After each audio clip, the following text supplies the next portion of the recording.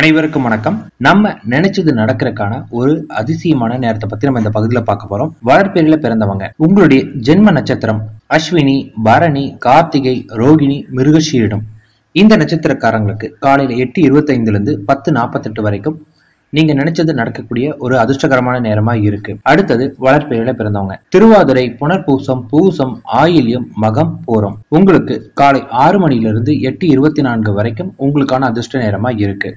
உத்திரம் அஸ்தம் சித்திரை சுவாதி விசாகம். சாயந்தரம் மூன்று முப்பத்தி ஏழுல இருந்து ஆறு மணி வரைக்கும் உங்களுக்கான அதிர்ஷ்ட நேரமா இருக்கு. அனுஷம் கேட்டை மூலம் பூராடம் உத்திராடம். மதியம் ஒன்று பதிமூன்றுல இருந்து மூன்று முப்பத்தி ஏழு வரைக்கும் உங்களுக்கான நல்ல நேரமாகவும் அதிர்ஷ்டகரமான நேரமாகவும் அமைஞ்சிருக்கு. திருவோணம் அவிட்டம் சதயம் பூரட்டாதி உத்திரட்டாதி ரேவதி. காலை பத்து நாற்பத்தி ஒன்பதுல இருந்து ஒன்று பன்னெண்டு வரைக்கும் உங்களுக்கான அதிர்ஷ்ட நேரமா இருக்கு. இதே போல தேய்பிரையில பிறந்தவங்க உங்களுடைய ஜென்ம நட்சத்திரம். பரணி கார்த்திகை ரோகிணி அஸ்வினி மிருகஷீரிடம் உங்களுக்கான அதிர்ஷ்டமான நேரம் ஒன்று பதிமூன்றுல இருந்து மூன்று முப்பத்தி ஏழு வரைக்கும். அடுத்தது திருவாதிரை புனர்பூசம் பூசம் ஆயில்யம் மகம் பூரம். காலை ஆறு மணில இருந்து எட்டு இருபத்தி நான்கு வரைக்கும் உங்களுக்கான அதிர்ஷ்டமான நேரமா இருக்கு. அடுத்தது உத்திரம் அஸ்தம் சித்திரை சுவாதி விசாகம் அனுஷம்.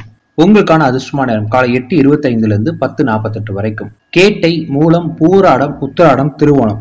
உங்களுக்கான அதிர்ஷ்டமான நேரம் காலை பத்து நாற்பத்தி ஒன்பதுல இருந்து ஒன்று பன்னெண்டு வரைக்கும். இந்த நேரத்துல நீங்க கருப்பு கலர் துணி அல்லது கருப்பு கலர் ஏதாவது ஒண்ணு உங்க கையில வச்சுக்கிற மாதிரி பாத்துக்கோங்க அடுத்தது அவிட்டம் சதயம் பூரட்டாதி உத்திரட்டாதி ரேவதி. சாயந்தரம் மூன்று முப்பத்தி ஏழுல இருந்து ஆறு மணி வரைக்கும் உங்களுக்கான அதிர்ஷ்டமான நேரமா இருக்கு. இதுல கொடுக்கப்பட்டுள்ள நேரத்தை உங்களுக்கு ஏதாவது ஒரு விஷயம் நடக்கணும் நீங்க நினைக்கிற விஷயத்த வந்து அந்த நேரத்துல ஒரு ஆரம்ப மாதிரி ஏதாவது ஒரு சின்ன முதல் அடி எடுத்து வைங்க. கண்டிப்பா அந்த விஷயம் உங்களுக்கு வெற்றியை நோக்கி போற மாதிரி இருக்கும். நன்றி வணக்கம்.